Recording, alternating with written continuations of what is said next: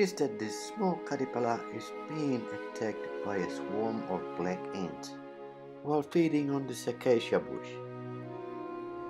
You would think that this poor little caterpillar will be killed by the ants and soon to be taken by these swarming vicious ants into their nest to be devoured. But to the contrary, it is hard to believe that the ants are protecting the caterpillars from hungry predators. And in return, the caterpillar produces a sweet substance from small glands on its body that the ant relishes. The ants also protect the larvae as it pupates in communal webs on young acacia trees.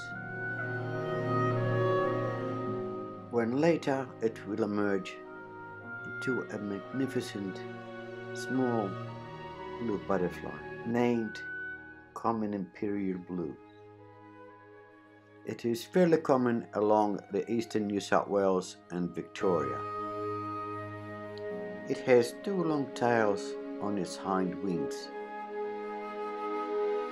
It's a protection to confuse predators in thinking it's the butterfly's head's antennae and not the tails.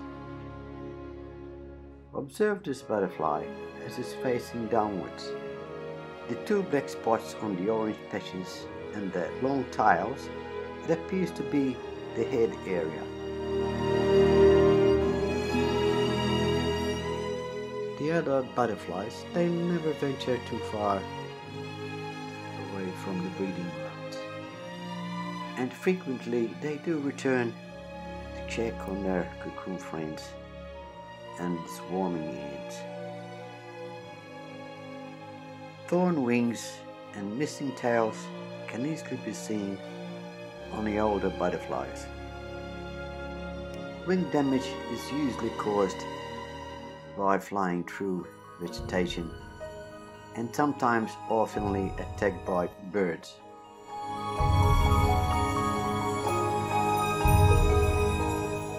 I feel so privileged and grateful. When I witness and capture on my camera rare scenes and amazing behavior. By these magnificent, small and colorful wonders of the natural world. As these pair of imperial blue butterflies demonstrate during courtship.